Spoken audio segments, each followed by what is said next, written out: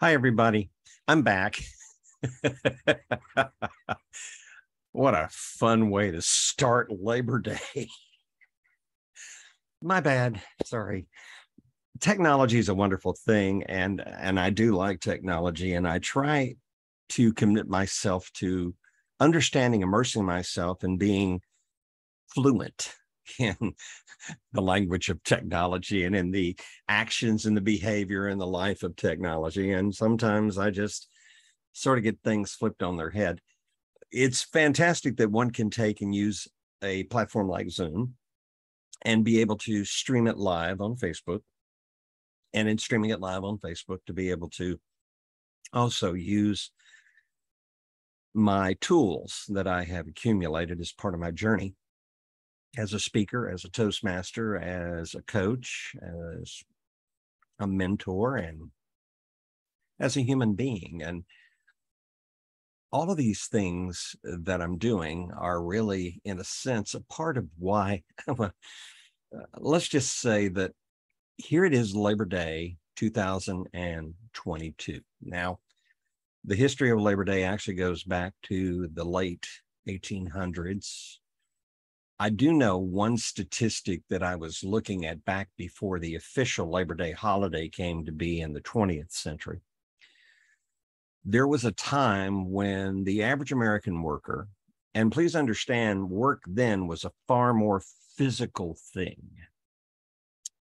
If you were not in the country farming and doing the work that is required in farming, including handling your livestock as well as your crops, maintaining a home, raising a family, serving in the community, and doing all that was a part of life in Americana in the late 19th century.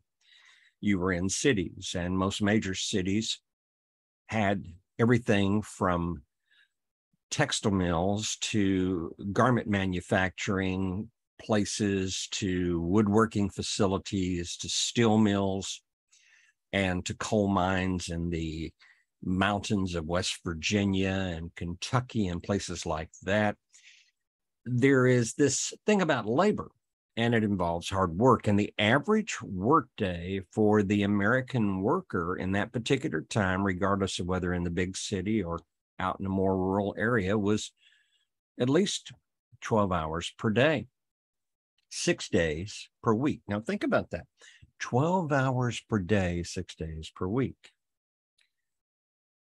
there are some people that tell us that our labor laws are in need of modification and that there are already precedents that have been set in many countries, particularly in Western Europe, where they actually work fewer days per week and fewer hours, but they have found that the productivity levels are considerably higher. But again, I think that also depends a great deal upon what is the standard livable wage, what are the costs of living, and that includes not just owning a home, but being able to provide for the needs of your family to get the medical care you need. Labor is something that all of us, I think, we're designed to do. And I think labor can be a great thing. And then there's, of course, sadly, a lot of us who spent our lives laboring, perhaps in jobs we wished that we didn't have to work in, because I know for myself personally, I got to do some of the things that I wanted to do that I dreamed of doing and had an idea of doing when I was younger, coming out of college, getting married, and then establishing, settling, and putting down roots and finding a home and there is much that I look back on that I didn't do quite well. And I sometimes got in the way of what truly my dreams were. Other people sometimes got in the way of those dreams. Mm. But generally speaking, I'm an individual that can tell you that I'm very thankful that I am here today with you on Facebook Live, streaming to you on this day number six of John's 77 day video challenge. Again, my thanks to all of you who follow me, all of you that have been supporting me, all of you who are still wondering, hmm, what's he going to talk about today? And of course, the central core message of my 77 day challenge is built around my theme of I never noticed, and of course, my power word for living resolve. I'll touch on that somewhat, but today I want to talk a little bit more about the fact that on this holiday, there are things we do which would be perceived by some people as labors, but they are labors of love. And I also want to wish all of you a happy Labor Day, a prosperous Labor Day, but I'm also very conscious of the fact that statistically, some of the longest work days of the week and of the year for people in retailing are Labor Day. Labor Day, as far as the retail industry is concerned, for the most part, is a wide open, typical, normal, busy day. And it's even more significant in that there is an uptick of shopping by retail customers because there are picnics and barbecues and activities and fun things taking place. There's traveling on the road. There are people on the highway visiting with friends, going to the beach here in Florida. Perhaps maybe they're going to Disney World, or maybe they're traveling to the mountains in the Appalachians, some of the places that I like to go. The whole thing about Labor Day is that for some people it is a holiday, but it's a day where they do a lot of the stuff they can't do otherwise, and they take advantage of the extra day. And if they're lucky enough to, maybe they can actually use the day as a day to rest from their labors, literally, and get a recharging of their personal battery. By the way, speaking of my personal battery, say good morning to my friend here. I, I found this in Dollar General. Cost me five dollars. Somebody said, John, you got mugs coming out the yin yang in your cabinet. But I liked it because number one, it was orange. Number two, it's a jack o' lantern, and I happen to be a fan of Halloween. I just like the colors of Halloween. No, I'm not in a Satan worshiper. Stop that. No, I'm just a guy that enjoys the fun of uh, the colors of Halloween. It's it's whimsical and it's playful. But uh, let's get back to something that I wanted to chat with you about today briefly. Labors of love. Labors of love. What are your labors of love? talking from purely a professional perspective with the gifts that you've been gifted with and the opportunities that are presented to you, it would be nice if our labors of love were actually the things we love doing that also help to provide and supply us with resources so that we're able to have a quality of life. It took me until I retired in 2013 to get into a position where I could begin to examine the possibility of doing labors of love that being said, I didn't get off to a very, very good start. This process has been sort of a process that has crept along slowly but surely since 2013. In November 2013, when I retired from Geico, I was 63 years of age. I was not even eligible for Medicare. I wasn't certainly eligible for Social Security, but I was able to draw a pension and with the help of pension and whatnot, I was, uh, my wife also was retired and drawing pension. We were able to make ends meet just fine. We arrived at that point where we would start living and drawing on Social Security and have Medicare for insurance. We didn't do a very good job of saving money. And what money we did have, we invested in things which turned out to eat the money up and wound up actually making us for all practical intents and purposes, other than the fixed income, we were broke. During that process, I began to awaken to the reality that there were things that I could be doing, and hopefully they would be things that would be monetary in nature as far as building and creating an income, but they would be the things that I would love doing. And my first love really is the love of public speaking. And I wanted to be a professional speaker, but I wasn't quite sure how to make that sort of thing happen. And part of that journey, that process of finding my way to this labor of love that could present to me a mechanism for also having income for my labors. It's a process of meeting and getting to know people and trying things, seeing what works, seeing what doesn't work. And I'll be truthful with you. The greatest strides and advances that I've been able to make in this field of professional speaking, podcasting, starting to and in the midst of writing a book that I have plans to have published before the end of this year, sooner rather than later. and also being involved as a mentor, as a coach, as a team builder, as an individual that has a marketable set of skills and a message that is unique in its niche enough that there is a following that would, in fact, follow me and would pay for and come to me and depend upon me and rely upon me to be a trusted expert.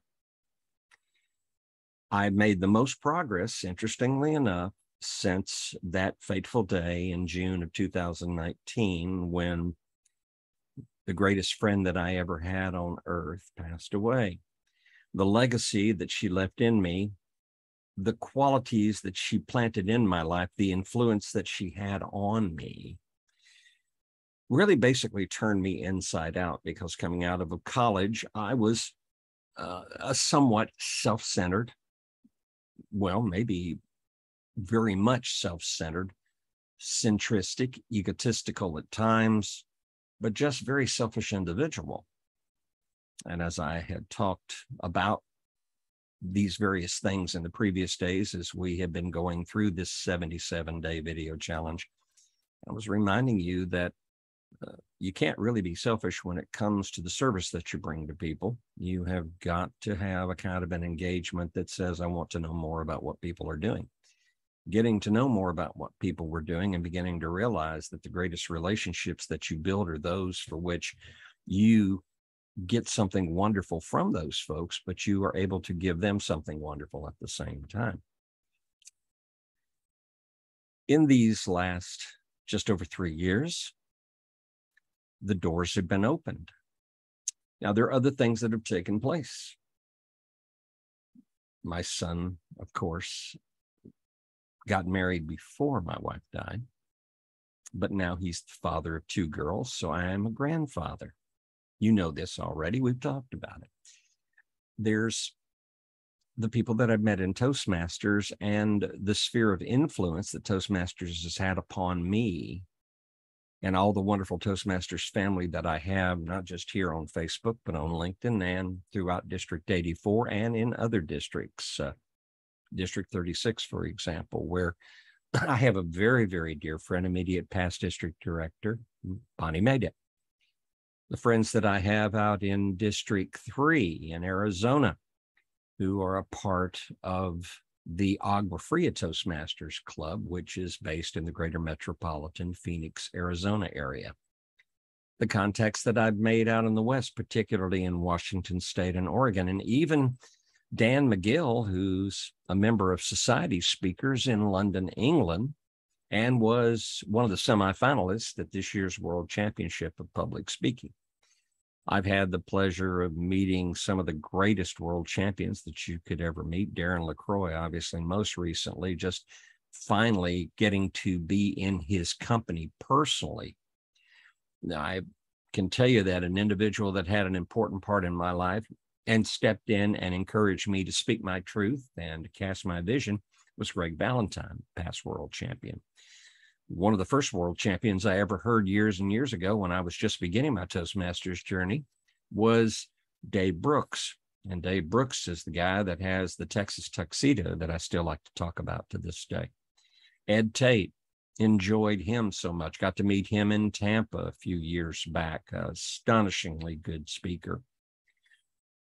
Michael Aun, way, way back before I met any of those guys when I was just beginning to develop my chops as a leader. And I was what was then called an area governor. One of my clubs in the area was the Osceola Toastmasters. The area, by the way, was Area 13. of course, I've also had an Area 51. no, no aliens here.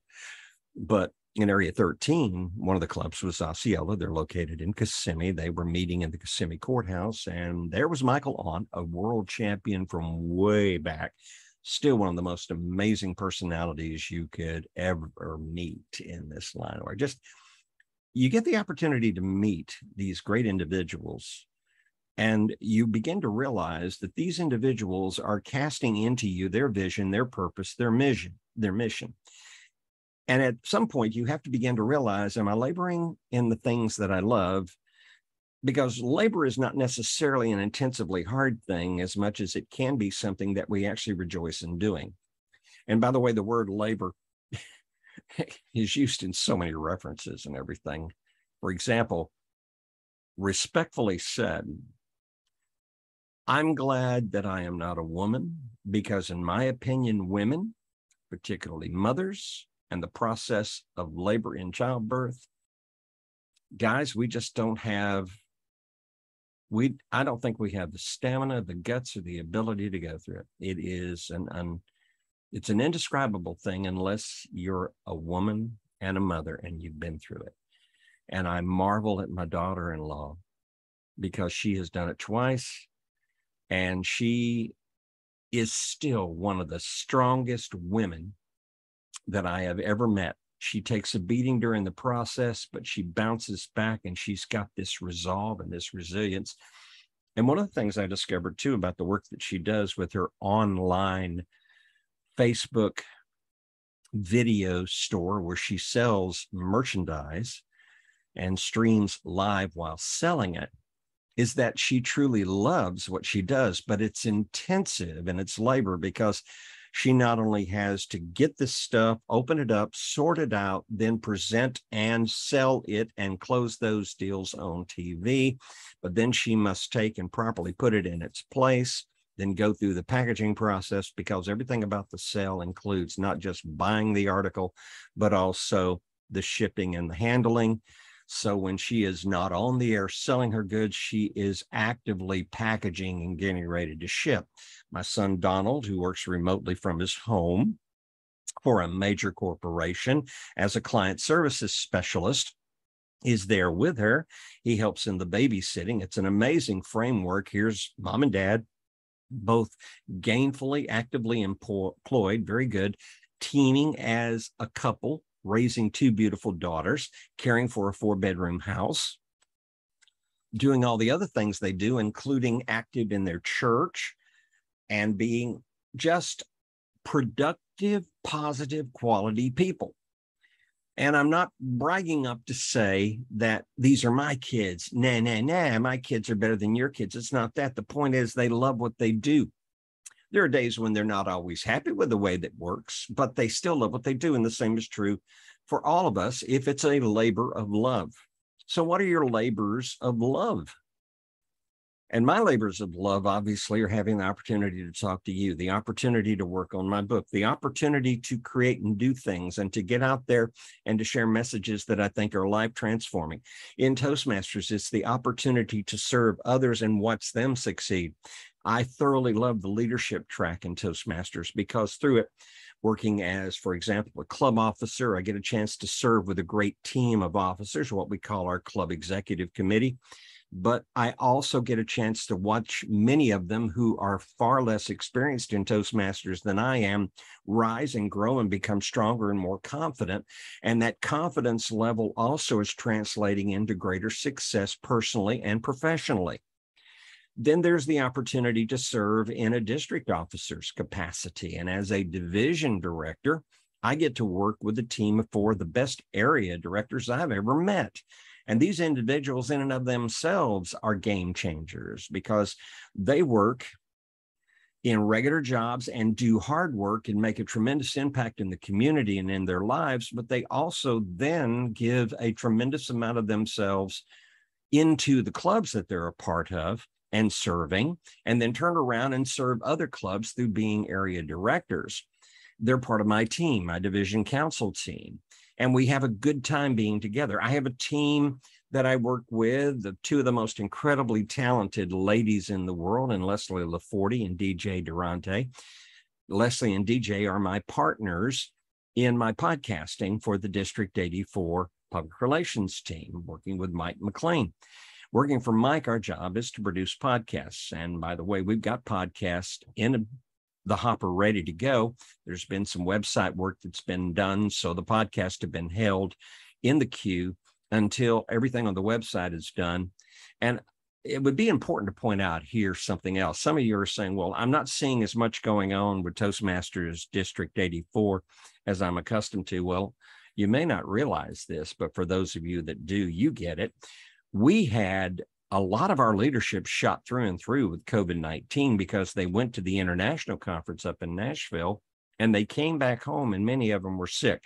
Some were especially symptomatic, others were asymptomatic. But when you get COVID, it'll be thankful it, you know, it used to kill people and it can still kill people. But thank goodness now, if you've you know you got the antibodies and whatnot you're you're at least in a position where you can fight it and and in so many ways it kind of reminds me of the flu because flu shots are a common every day to day thing. Uh, and so now we've got this new thing that we have to really be on our best behavior about but when it hits it knocks you flat on your back and frankly you don't feel like doing anything so labor becomes something that is uh, torture. Uh, these are these are but anyway these are the labors of love that i enjoy doing. This is the thing that makes the whole concept of celebrating labor day so special to me. Before i even came on the air this morning one of the first things i did was i sent a couple of facebook posts and then i texted a couple of people I wanted folks to know that I was thinking about them. I even took a few moments for a company that I do a side work for, and I enjoy it very, very much. The majority of the team are based in Miami, but they do have team working remotely around the state and some satellite offices as well. I just wanted to wish them a very happy Labor Day because their offices are closed today, and deservedly so. These are dedicated, hardworking people, some of the hardest working, most dedicated people I've met. And yet, extraordinarily unselfish and very powerful in their family approach.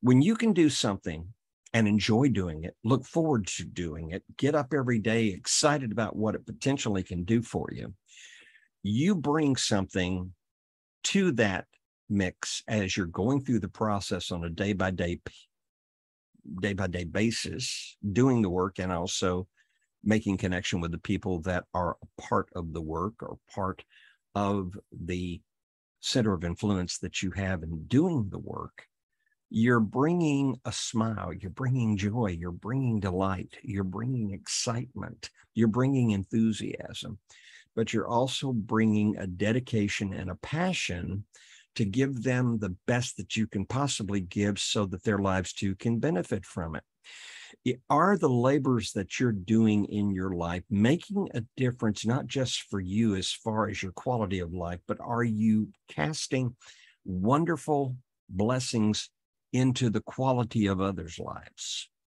The whole thing about labor is that it can either be mundane, drudgery, I remember a guy who used to say when I was working for a company, at the end of the day, it's just eight hours. It's just eight hours. Really? Well, if you total up in your life working five days a week with vacation time periodically built into it at eight hours per day for a period of 40 years, and all you have to say for it is it's just eight hours and when you retire, you're just glad you're not having to go to it anymore, but you're also not doing anything to carry that life forward and do something special for others, or maybe find that something that you always dreamed of doing and doing it. You're never too old to take a risk, to take a chance, to try something new, to challenge your mind, to exercise the neurons in your brain, to do that neuroplasticity thing, to challenge your mind and create new information, new knowledge, new neural pathways to, as I was talking about at the beginning this morning when I completely and totally fumbled the beginning of this Facebook live presentation. It's learning. We've talked about the letter R for resilience and resolve, and the letter E for engagement. Uh, my uh, message this morning, as a setup, actually goes to tomorrow's letter, the letter S, which is actually two S's selfless service, or you can just say service. I like selfless service because that takes it to the level where the service you're providing falls into the category of what Zig Ziglar said. This is not an exact quote, but Zig said, You will always get what you want in life as long as you help other people get what they want in life.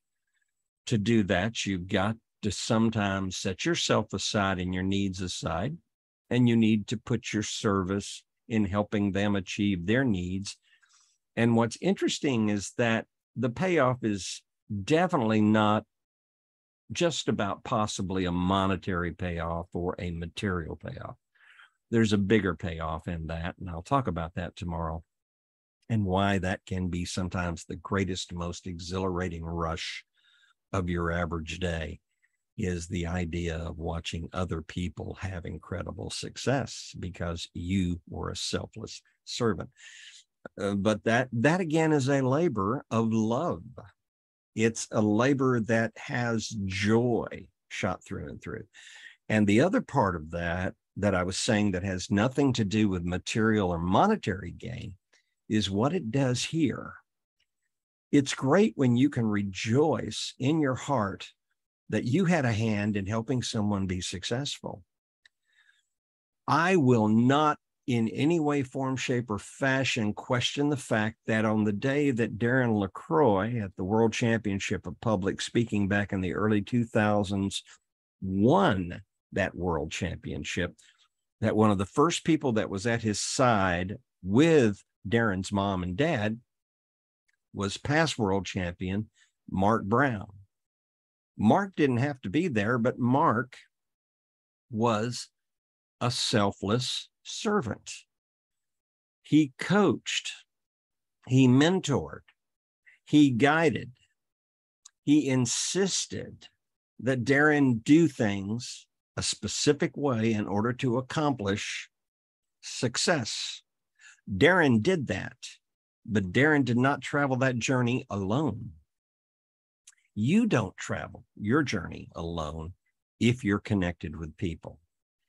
But here's the thing if you truly want to make your labors of love rewarding, put yourself on the road and travel with others. Don't stand behind them. Don't get in front of them. This is not about leading or following. This is about coming up alongside in their labor, sharing the load, picking up some of the pieces. And if they stumble, being right there with them at their side to either grab them so they don't fall completely down. But if they do fall completely down, help them get back up, dust them off, check for damage, and then help them get going again. Be sure that they don't get discouraged and want to quit. And perchance, if something hits and you get knocked off into the weeds and off onto the shoulder or even down in the ditch, help them get back up on the path. This is a labor of love. It's a it's your gift. And if you think about it, I believe you could find today, if you just sit down for a few minutes and wrote out a list, I believe you could write down a handful of names of people that have made a very positive impact in your life and they have labored on your behalf. And I'm telling you, think outside of family for a few minutes. Yes, I had great parents. They were a work in progress. They didn't always get it right, but my parents never, never, never lacked for the one thing that was most important in my life, and that was a total unconditional love. And they taught me that unconditional love, not just as to how they did it for me, but also watching them and how they unconditionally loved one another. That type of teaching was important to me because that brought me through my life with my wife. And we had that unconditional love for each other, even though we went through a lot of hard times together. But the point was, it was a road we traveled together and not a road that we traveled on separate routes. The same is true in life with people. As you travel the road in the labors that you go through, understand that labor is not or doesn't have to be, honestly, drudgery. Labor can be intensive and labor can be hard work, and labor sometimes can be frustrating, and there will be failures. There will be shortcomings. There'll be disappointments. You won't always finish on schedule. But the truth is, if you love what you're doing, and if you love the people that you're doing it with, and you love watching people also doing what they do well and being a part of helping them to do it even better, one person's success feeds another person's success, and that success feeds back to you who gave the success. It's a it's a never ending cycle. It's a perpetual thing. It's kind of like that circle we talk about. It's unending because as long as you give, you're going to get. As long as you give, you're going to get. The truth is, in the universal law of sowing and reaping, you are going to reap what you sow. So think about what you're sowing right now. You can't do anything about what you've sowed already. I've learned very much the experience of when I do and sow bad things, bad things come back to haunt me. And I've learned that you have to clean your message up, but you're not going to get a pass and you're not going to get out of the problem. You're going to have to confront it one way or the other. And this is not being preachy. This is just what I've learned about life. There are certain things in the universal law of how it works that are um, empirical. They don't change. They are literally, that's why we call them laws. And so if you're if you're wanting to do something special and you're in the process of doing your favorite thing that you like and the labors that you want to do, find someone else who is doing the same thing in terms of wanting to do what they love to do. Come alongside them and let them know you want to collaborate with them, work with them, team with them, help them to be good, pat them on the back, and do everything you can in that journey to help them be successful. Because if you want to get and have the success in your life that you desire, you will get exactly what you desire so long as you help others get what they desire as well.